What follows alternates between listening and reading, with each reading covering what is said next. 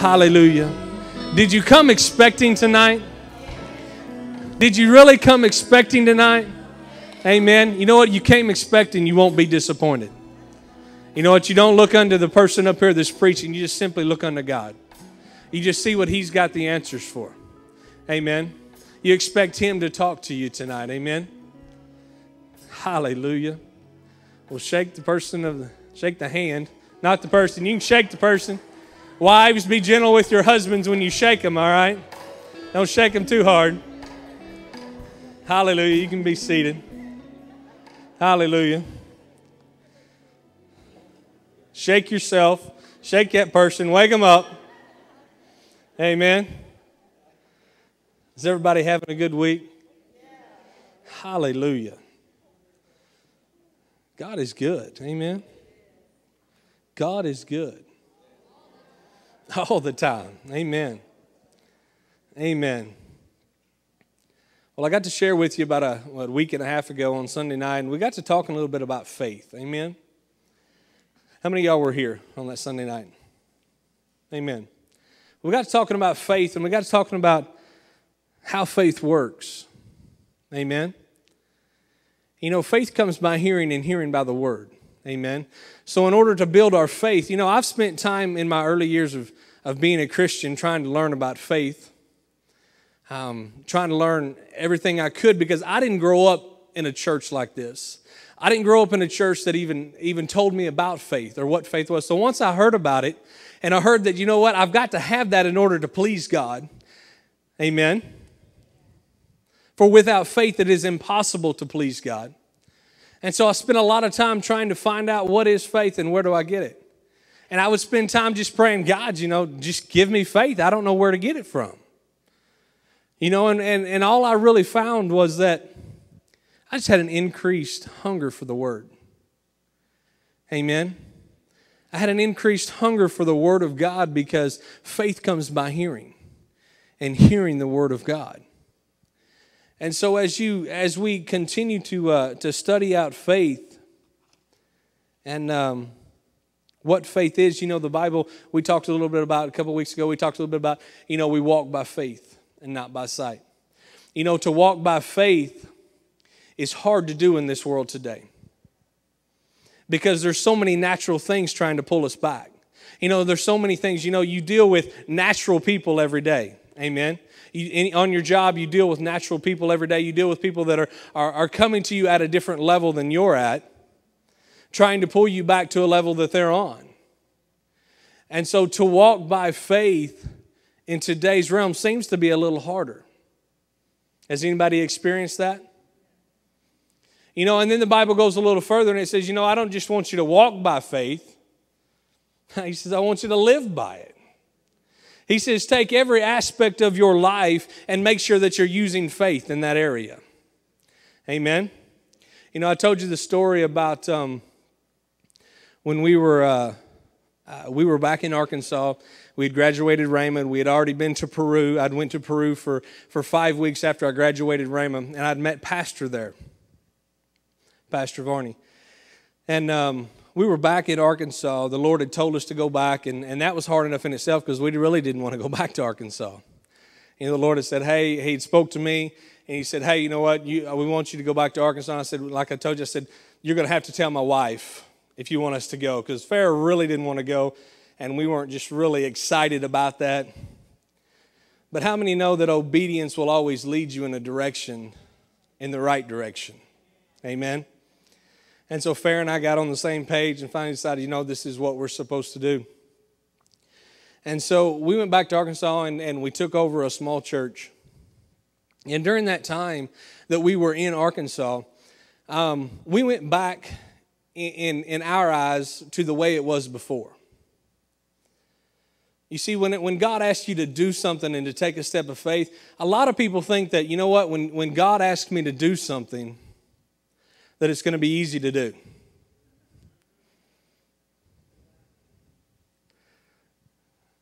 He, you know, it's that, you know what? Yeah, God's going to provide, God's going to make a way, and things are going to happen. But He never said that it was going to be easy. Amen? He never said that, you know, when I ask you to step out and I ask you to go somewhere and I ask you to do something that, that it's just going to be paved all the way. Amen. Glory. And so, in our eyes, because when we left Arkansas, we were youth pastors at a church, an Assembly of God church. We were youth pastors. And I'll tell you what, uh, there being a youth pastor, um, when we took over, there was about five kids left that didn't go with the other youth pastor. And so we started out our, our ministry with five people, if you will. Now, we were in a church of a couple hundred people, but our part of the ministry was five people. Amen. And so we started that out, you know, with five kids. And it was a hard road to go because I worked. I, I mean, I had a, 40 hour a week job. I worked, uh, at that time, I worked at a lumber yard. I worked out on, out on the yard at a lumber yard. And uh, so I worked 40 hours and I came home and I would take off my, my work hat and I'd put on my youth minister's hat and so we had our, we had our um, youth on Monday nights. And so our Monday nights, my Monday consisted of getting up early and going to work, coming home after five. Our youth started at seven o'clock, and so um, I had to be ready to go by then. Amen. But I also had to, you know, a lot of people will sit back in ministry and they'll wait for people to come to them and we had such a heart for the kids and wanted to change the lives of many kids that we, we took it a step further we actually we went out and got the kids and so i would come home i would get get ready i'd change you know and, and get ready and uh, uh, take a shower make sure i smelled good you know after a hard day's work and uh, i wanted them to receive on the right way you know i didn't want them to go out in the spirit that you know yeah so but uh, so I'd come home and I'd do that. And then you know what? I, I would go pick up a van load of kids in town. And so I'd pick up a van load of kids there in town and bring them and drop them off. And then I'd go pick up another van load of kids in another town that was about 20 minutes away. And so, in the process of doing all of this, we went from about five kids to about 50 kids. But you know, I kept instilling in these kids that they need to, they need to continually look to God. You know, it's not, it's not the person up front preaching that you need to be looking to or you need to put up on a, on a, on a pedestal because, you know what, we make mistakes too. And so by doing that, when I left that youth group in 99 and went to Rhema, uh, we came back uh, about a year and a half later, and, and that group had grown from 50 to 75 they had stayed and continued in the Word. Amen. They didn't leave with me. They didn't say, all right, you know what? Well, Brother Adam's gone. We're, we're leaving the group. We're going to leave you with five again.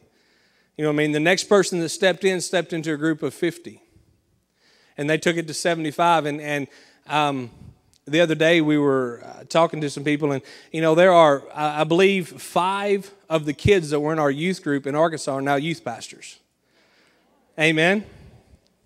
So instilling into our youth, you know, it, it took a lot of time to work all day to come home to go get a, a, a, van load of kids in town, much less drop those kids off and then drive another 20 minutes to pick up another van load and then to come back and then to have service, to worship, then to preach, then to do a little fellowship, and then the kids had to get home again. Amen. And I mean, I, I didn't have people that were willing to work with me. I didn't have people that were willing to come and volunteer their time and to give of their time into the ministry. You know, they just thought, oh, that's just the youth ministry. You know, let them take care of that. And so, you know what? We're valuable in what we do and how we do it. And so that's how we started ministry. And so I was thinking, you know, on our way to Rhema, I was thinking, man, this is going to be good. You know, God's called us out here. God, we knew we were supposed to go to Rhema. You know, on our first trip to Rhema, we were actually driving down there to uh, to just check it out. You know, I mean, we'd never been to Tulsa. I don't. I mean, been out of Arkansas once, I think.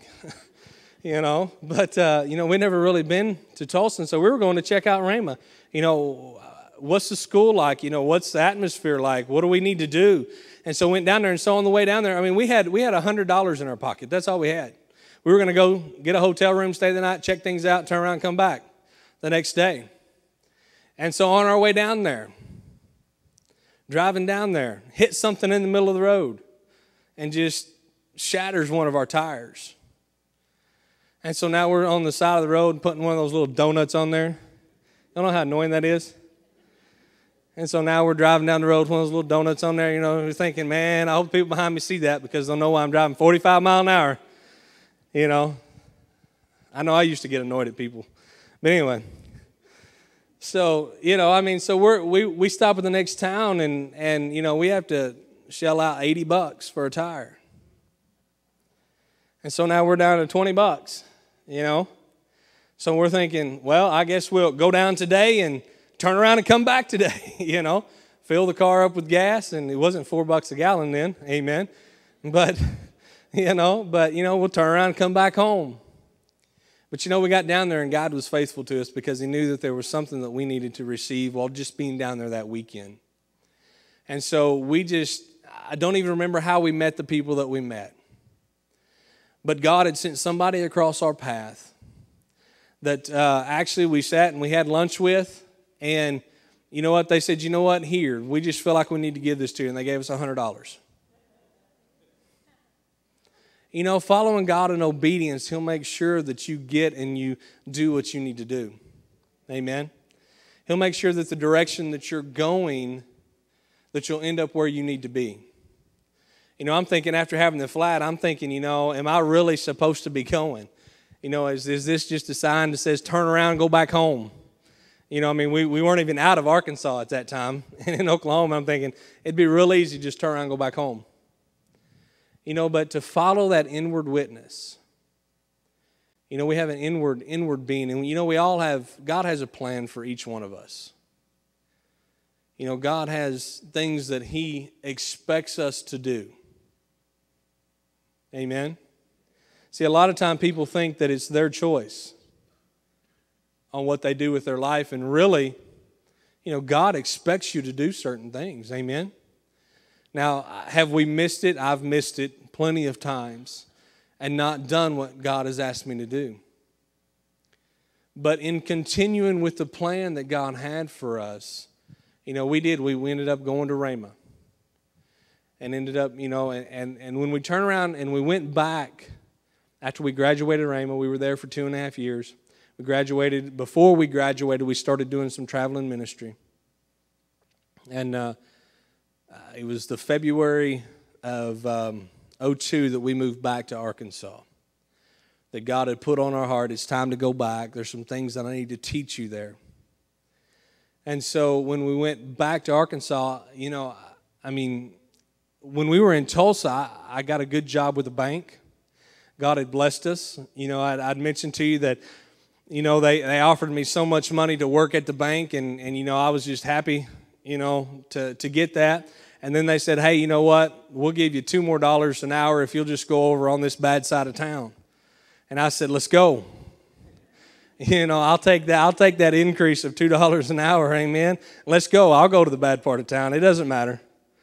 You know, and and time after time that we were there, um, I would, I would joke around with the new people and tell them, I would say, hey, now listen, if you don't get cussed out at least twice a week, you're not doing your job. And they just look at me and laugh until they get cussed out twice a week. But, you know, it was just walking by faith. But, you know, while I was working there at Arvest Bank in Tulsa, uh, my second year at Rhema, um, there was this young lady that I worked with. And this lady, she was. Um, she was hard into drugs, into alcohol, um, very much partied all the time, and, and let people know about it. And so, you know, when you when you work on your job and you live on, eh, eh, day after day and you get to know people, you know, you don't necessarily just have to go up to somebody and just start telling them about the gospel. Because they're going to read your life and they're going to find out is is what you have what I want. Are you pushing what you believe on me, or are you allowing me to look at your life and see how you're living it? And are you living your life right? Amen. And so in this walk, you know, I just I just told the Lord, and I tell the Lord at, at every job that I've ever had, Lord, if there's somebody here that you need me to minister to, I'm open for it. But I said, You need to open the door up. You need to make a way for me to be able to minister to these people. Because I will not, because you know what? I, it's a job. Amen. They're paying me to do something. Amen. They were paying me to open accounts, to, you know, to do whatever, uh, new loans and things like that. And so it really wasn't my place to bring my religion, if you will, except for the way that I live my life. And so I told God, hey, you open up a door and, and I'll walk through it. And so there was one night, this, this young lady and I, we were closing the bank, and the bank that we worked in was inside of a Walmart. And, um, and so we were the closers that night. And so we were sitting there, and, and you know, she was very into, she would have her, her novels that she would bring and read if we didn't have any customers, or she would play internet poker or whatever. You know, I mean, they're at work. You know, if she didn't have work, that's what she did. And so one night we were there, and I'd, I'd asked the Lord, you know, and I, I continually prayed for my coworkers. And I asked him, Lord, you know what? If there is somebody or something that you want me to share with them, you just let me know. You open a door, and I'll be happy to walk through that door. And so we were there that night, and she's, she's writing a paper for school. She's going to school, to college, and she's writing a paper for college. And so we're sitting there, and we're talking a little bit, and she's typing up her paper while we're at work, and uh, didn't have any customers. And, and she asked me this question. She goes, um, she said, I'm writing this paper about religion. She said, Can you tell me about yours?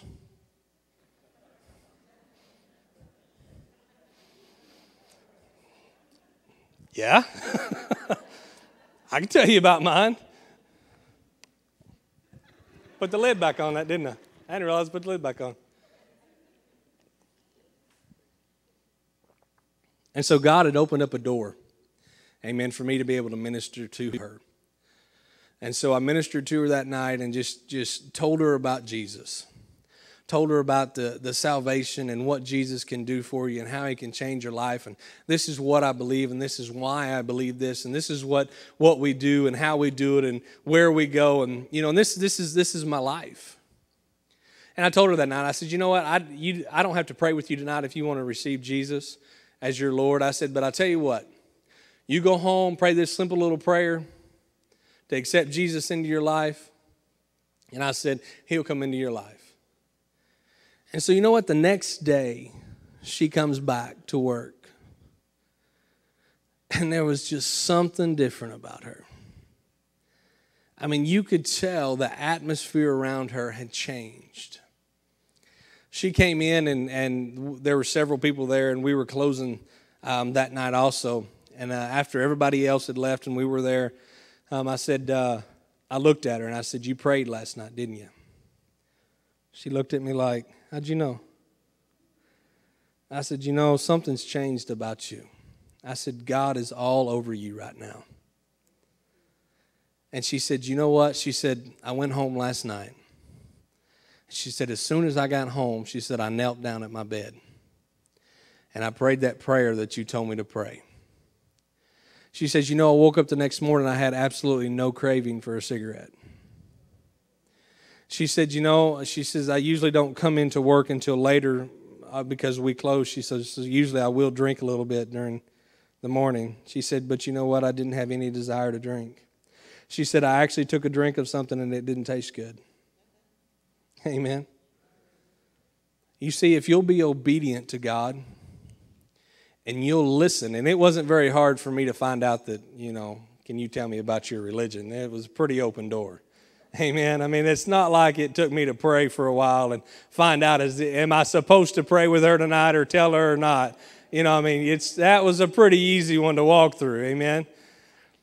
And so, you know, but you know, I, I went out in Walmart that night and I bought her a Bible and I brought it back to her because she's like, you know, I, I don't have a Bible. I, I don't know which one's good. She's, she actually said, I actually went and looked at some before work today.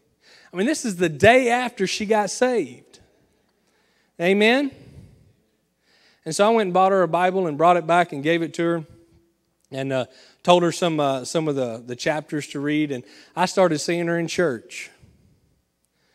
And uh, I haven't talked to her in, in several years, so I, I, I do pray and just believe that she is still following God.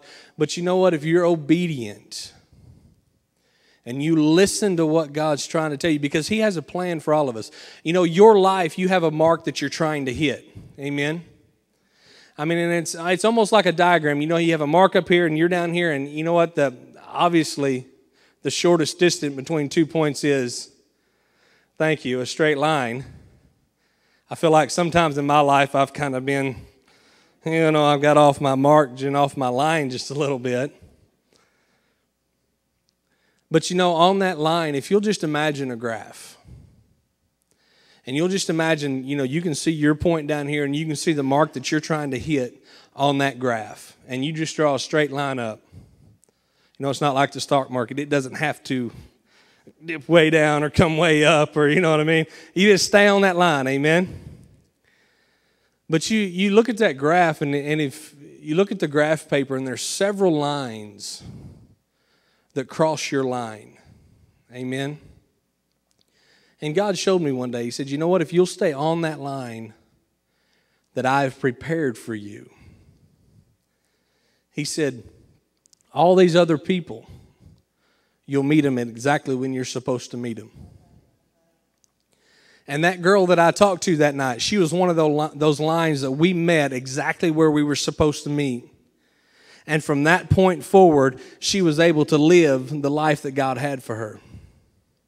You know, my point, uh, point on my line was when, when I started youth ministry. And then I, I went to Rhema. And then after Rhema, I went to Peru and I met Pastor Varney down in, down in Peru.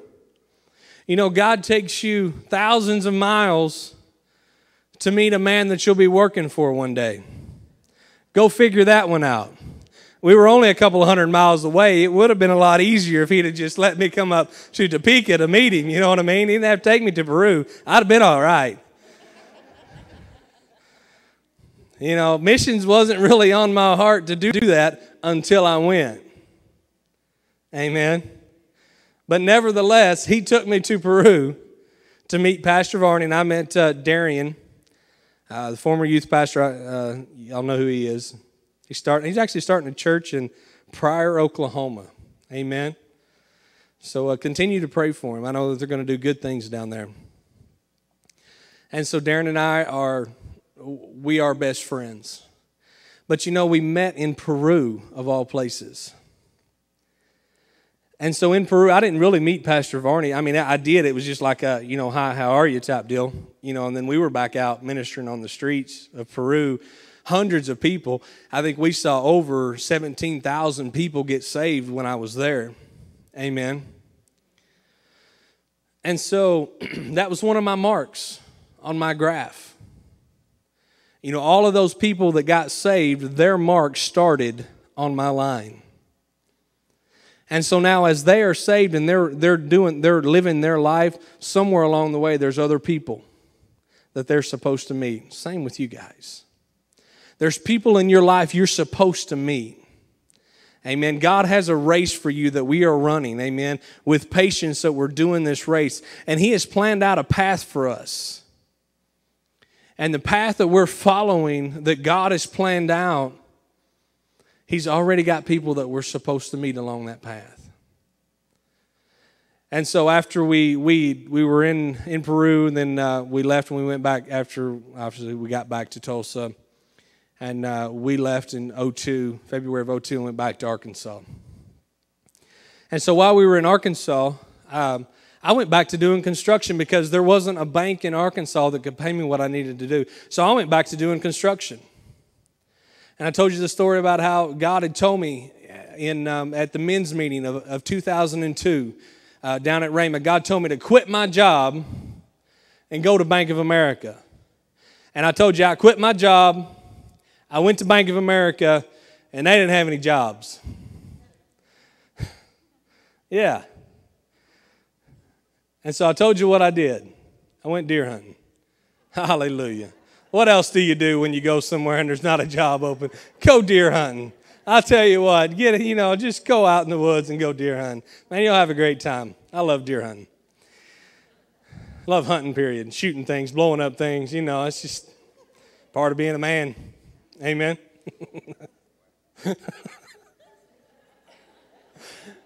and so, you know, and then and then Bank of America called a week later and said, "Hey, we've got a job for you."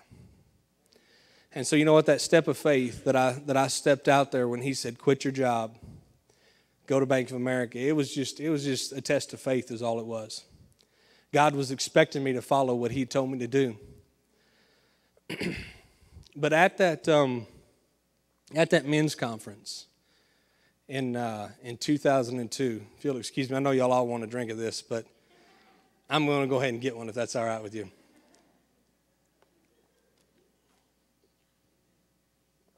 Thank you. Amen.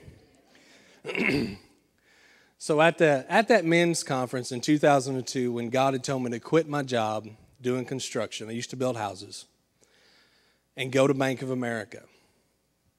That same men's conference, God did something else in my life. Now I was I, I, I just told you I love to hunt, I love to deer hunt. And when we had left and we had went to Rhema, we didn't have any money to go to Rhema. And so what I did was I sold all of my guns, and Farah sold her bedroom suit that she really loved. And that was the money that we used to move to Rhema and to pay, you know, our rent for the first couple of months and utilities and all that stuff. That's the money we used. And so at that men's conference, I'd been looking for a, a Browning 270 short mag. And if you don't know what that is, I'm sorry, but it's, it's a type of gun. It's what I love to deer hunt with. I love hunting with 270. And, uh, you know, when I go and buy a gun, I don't necessarily, you know, it doesn't have to be expensive for me, but it's just got to feel right. I know y'all don't have, some of y'all know what I mean. Some of you don't. That's all right. you know, but I couldn't find a Browning 270 short mag that I really wanted. They make several different models of it and I could not find one that I wanted. And so I had I had six hundred dollars that I was going to spend on the gun, and uh, I had some other money that I was going to spend on a scope, you know, four or five hundred dollars on a scope too. But and so this six hundred bucks that I had, so I, I'm, I'll go. Well, you know what? We're going to the men's conference this year. I'm just going to take the money with me. And uh, you know, I, surely there's a place in Tulsa that I can find a gun that I like. And so while we were in Tulsa, whenever we had some off time from the men's conference, I was hitting the sporting stores and I was looking for the gun that I wanted and I found it. I found the one that I wanted. Felt right. When I held it up, it just it just fit perfect. And so I go to buy it. And they asked me for my driver's license. And I gave my driver's license. They said, I'm sorry, we can't sell you the gun. I said, Why can't you sell me the gun? They said, Because you're out of state. They said, and we don't have one of our sporting stores in your state. And because we don't have one in your state that can help you if, if anything goes wrong with it, we can't sell you the gun. And so I had a friend with me that lived in Tulsa. So I looked at him and I said, Hey, you want to buy a gun? He goes, Sure. He goes, Wonder which one I should buy. I said, How about this one? And so he went to buy the gun for me. And, uh, and so he pulled out. We were standing there, and the guy was standing right there, and I'm just sitting there talking to him. I said, All right, he's going to buy a gun. He said, Okay. So he pulls out his driver's license. They run his driver's license, and he had just moved two weeks earlier to a new address. And because it wasn't the same address that was on his license, yeah, that's kind of what I was thinking. You know, I'm sitting there thinking, Lord, I just want this gun. You know, is can can can I come on? And so I'm a little, I'm, I'm a little upset, just a little. And so I'm like, okay, that's fine. And so we go back to the men's conference. That night at the men's conference, um, I don't even remember who was speaking that night. It may have been uh, Reggie Scarborough. And uh, that night at the men's conference, the Lord put on my heart to sow that $600 into somebody's life.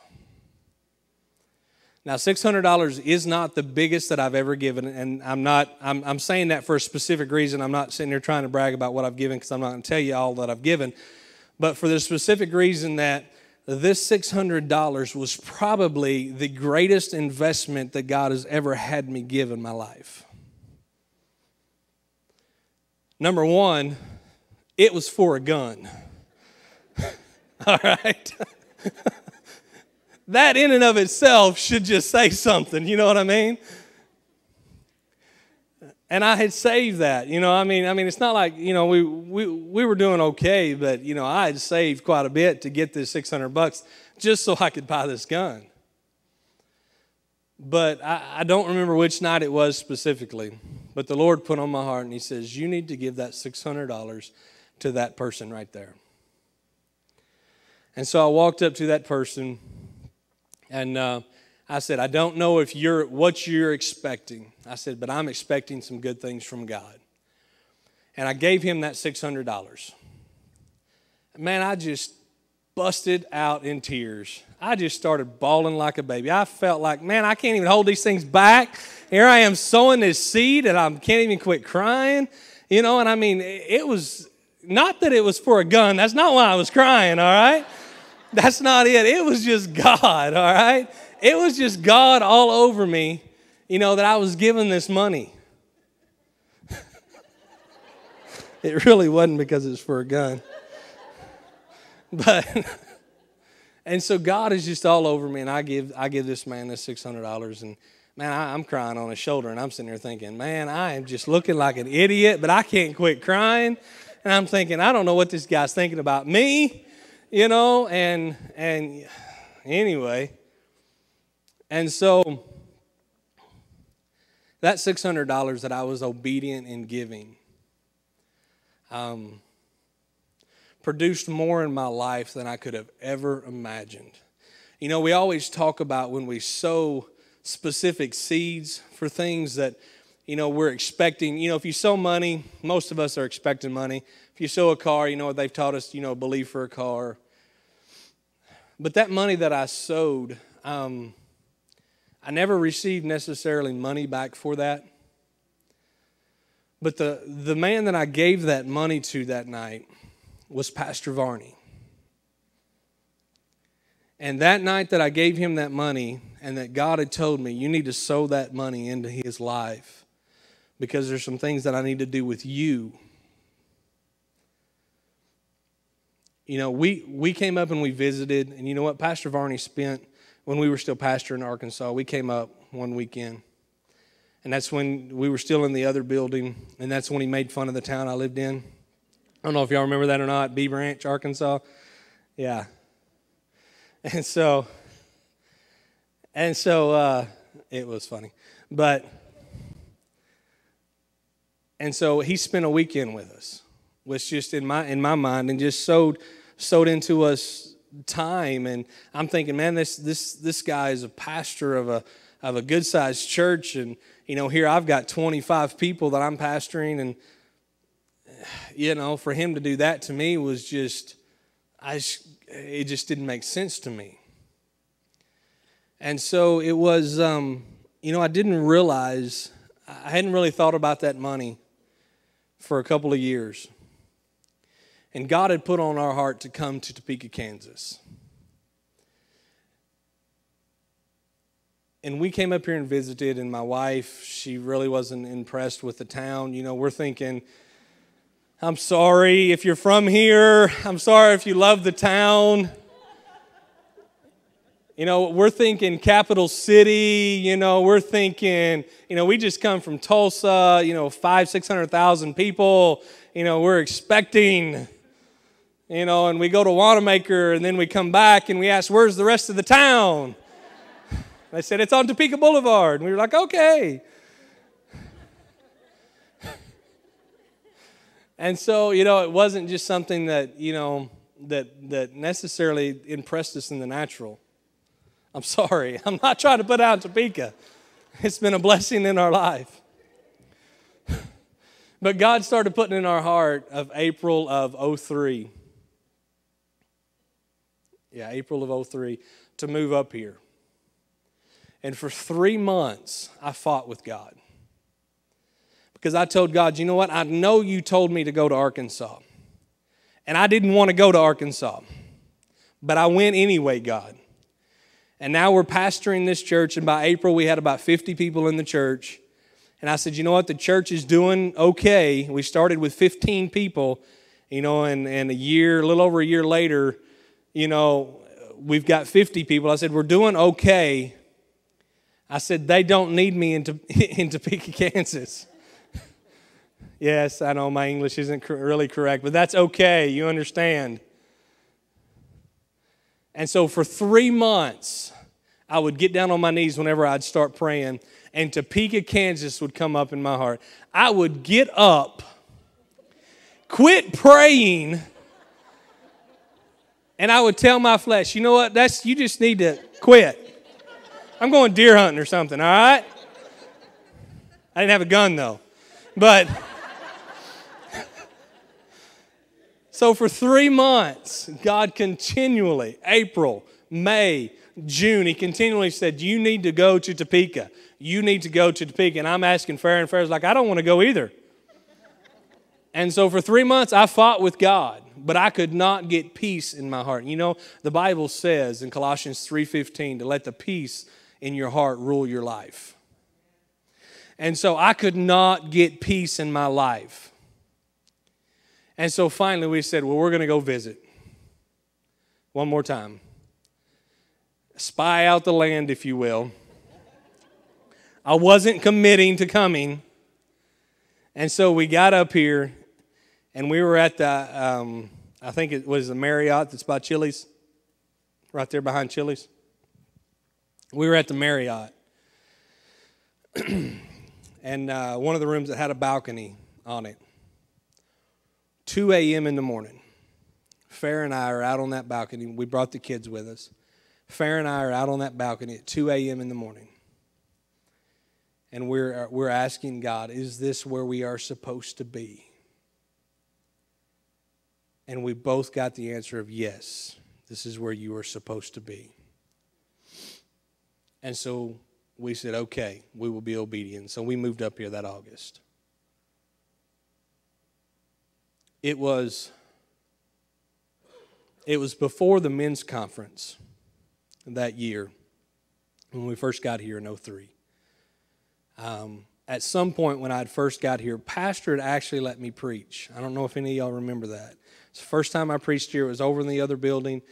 And uh, we were actually having, um, at that time, we were doing a short service and then we were having classes afterwards, life groups afterwards, had the different classes that we were doing. And so, Pastor actually let me preach. And I'm thinking in my head, why in the world are you allowing me to? Not that I'm not a good preacher, all right? That's not why I was saying that. But I'm thinking, you really don't know me that well.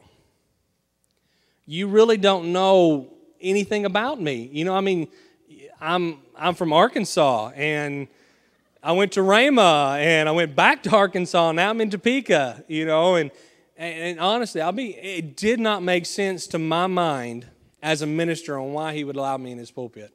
Because ministers are very protective of who they let preach.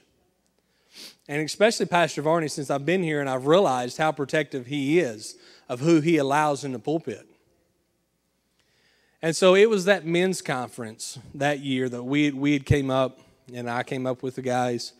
And on the way back, Pastor asked me to ride back with him. He said, Hey, won't you come ride back with me from the men's conference? Said we can talk about a few things. And so on the way back, I just asked him, I said, Pastor, I said, I've just got to ask you a question, something that is just, I don't understand. I said, You really don't know me. You really don't know who I am. You don't know anything about me. You know, I went to Rhema and then I pastored a church in Arkansas, and you know, you don't know a whole lot about me. I said, Why did you let me preach that night? And it was at that point that I started to understand what my seed of $600 had actually done. Because he turned and he looked at me and he said, When you gave me that $600, that showed me your heart. And from that time, my mind just started running through everything and every event that I, I had that, that had anything to do with Topeka, Kansas. And the time that Pastor had spent with me, and the times that he had sowed into my life up until that point, and, and being, being allowed and, and uh, privileged to, to, to preach that one night, and everything just started running through my head that, you know what? I've been looking at the wrong type of harvest off of this money. God needed me to be obedient to sow a seed that was precious to me. Amen. He needed me to sow that seed into somebody else's life in order to get me to a place that I needed to be. And so that money that I sowed and was obedient and listening to the Holy Spirit has helped me and showed Pastor my heart to the point that, you know, I, I guess I could say to the point of where I am now. Because I'll, I'll be honest with you. Sometimes when I look at myself, I'm thinking, you know what, I am so inadequate in what I do. You, you know what, I, I was, uh, I, I didn't necessarily go to college except for Rhema. I was raised on a dairy farm in the hills of Arkansas. And honestly, when God called me, that scripture that says the foolish things of this world will confound the wise, that's literally where I saw myself as the foolish things of this world. Why would anybody want to listen to or want to receive from me? But that $600 that I sowed that night opened up doors for me to see and to understand and to realize what God actually had for me. And opened up, you know, and it simply was being obedient to what God asked me to do. You know, He took me to Peru and He allowed me to meet Pastor Varney and Darian. And then a couple of years later or whatever, you know, he a year a little over a year later, he had me sow that money. And at that time, I had absolutely no idea what that would produce in my life. But to be obedient to what God, you know, I, am going to I'm going to tell you if God's put something on your heart to do, whether it makes sense or not, what that's going to produce in your life will be beyond what you can even imagine.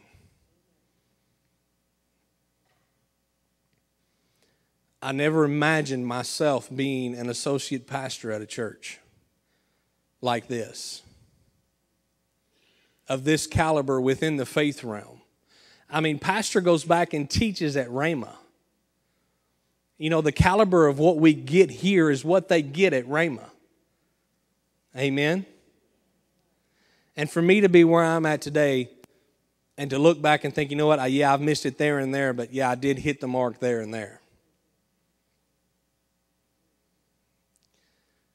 And so, you know? I just encourage you tonight. You know, if God is putting on your heart to do something, you need to do it. Because God has got places for you to go, people for you to cross paths with, that He cannot get you there unless you are obedient to what He's asking you to do. Amen? And so I just encourage you tonight I encourage you that if God is asking you to do something or, or if He's asked you to do something, you know, just be obedient. Because God really does want to do something in your life. And He has got a plan for you. And He wants that plan to prosper. But you know what? We do have a we have a part to play in that. I could have said when he asked me to go to Peru, I could have said, well, I did say no at first. But I could have continued to say no, I guess, is what I could say, because I told him when he, when, uh, when he told me, hey, I want you to go to Peru, yeah, I, I did look at that. I was at, in, in class at Rhema listening to Jim Andrews, and he asked me to go to Peru and serve that man for five weeks. And I looked at the chair next to me, and I, I did. I was like, she missed it. She's not here today. That was for her. I was like, that couldn't have been for me. But God said, No, it is for you.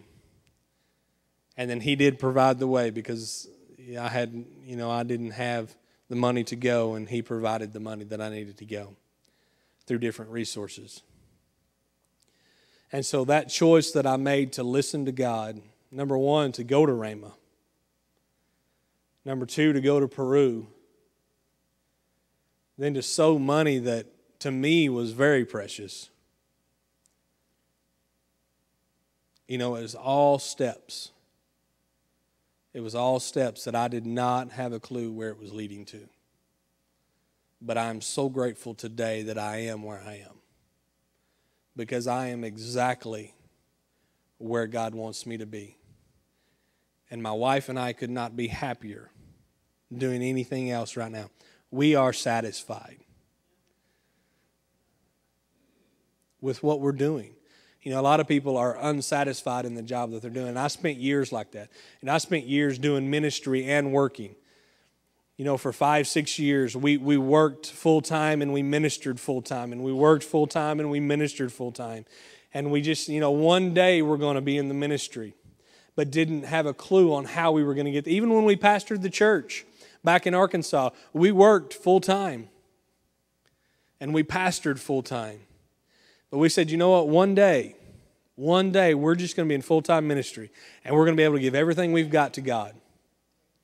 And had not a clue at the things that God had already had set up for me and for my wife.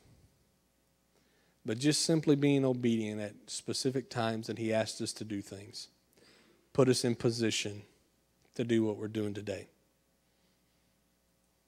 Amen. So I encourage you follow that peace that you have. Make sure that whatever direction that you're going, that the peace of God is there. Amen. And that the direction that you're heading is the direction that God has for you. Because I have no doubt in my mind that every person in this room, God has a path for you to walk on. And He has a path that He needs you to walk on. See, we always think that, you know, we need God. Amen. And we do. We need God, but you know what? God needs us because He set up everything that He can do on this earth. He needs you to do it. We are the body of Christ. Amen. And we are to walk out and to perform the things that God needs us to. Amen. Let's pray. Father, I thank you tonight. Lord, I thank you for the things that you are doing through this congregation. I thank you for the plans right now in this congregation.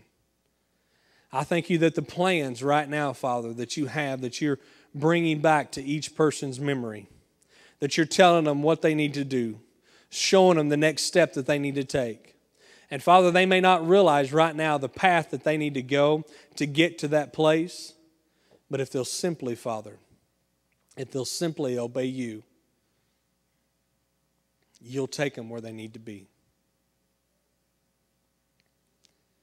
And so, Father, I thank you for each person in this room that they will follow your plan.